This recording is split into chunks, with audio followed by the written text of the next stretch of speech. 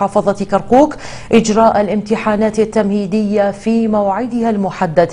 نافيا بذلك الأنباء التي أشيعت حول إلغاء الامتحانات التمهيدية. معاون مدير تربية كركوك كشف في تصريح لفضائية كركوك أن مدارس المحافظة استقبلت الطلبة النازحين ولجميع المراحل الدراسية. داعيا الجهات المعنية في الحكومة الاتحادية لتقديم مزيد من العون لمحافظة كركوك فيما يتعلق بملف الطلبة النازحين. نفى معاون مدير عام تربية كركوك الأنباء المتعلقة بإلغاء الامتحانات التمهيدية مؤكدا أن هذه الأنباء عارية عن الصحة تماما والإجراءات قائمة لإجراء الامتحانات التمهيدية في موعدها المقرر. نحن ليس من صلاحيتنا إلغاء أي امتحانات لأن نظامنا نظام وزاري مركزي تصدر إلينا التوجيهات والتعليمات من وزارة تربية العراق. امتحانات تمهيدية باقية في زمانها ومكانها المحدد وبتعليماتها.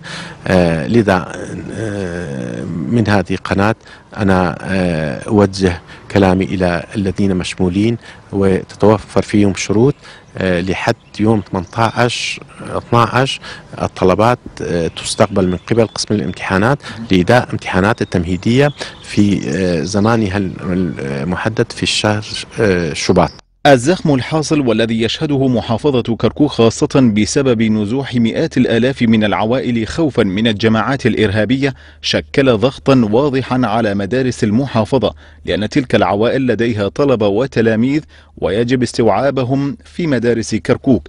ما جعل تربية المحافظة تلقي اللوم على الحكومة الاتحادية في تعاملها مع هذا الملف. ليس بإمكانية إدارة المحافظة ولا تربية كركوك باستقبال هكذا أعداد إن لن تتوفر في أماكن لاستقبالهم؟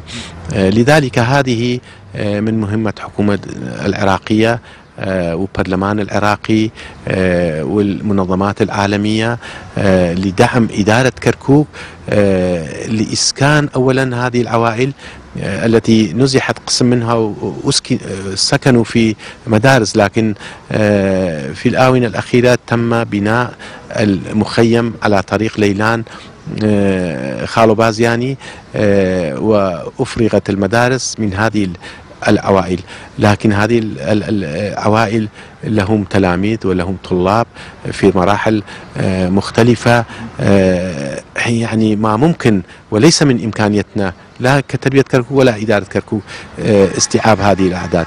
إحصائية إحصائية متغيرة صراحة.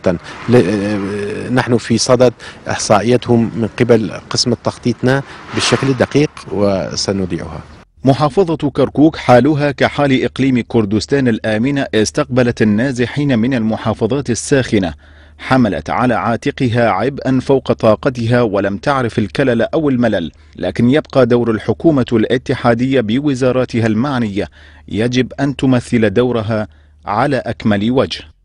هلغورد حسن فضائية كركوك. شنت القوات الأمنية عملية عسكرية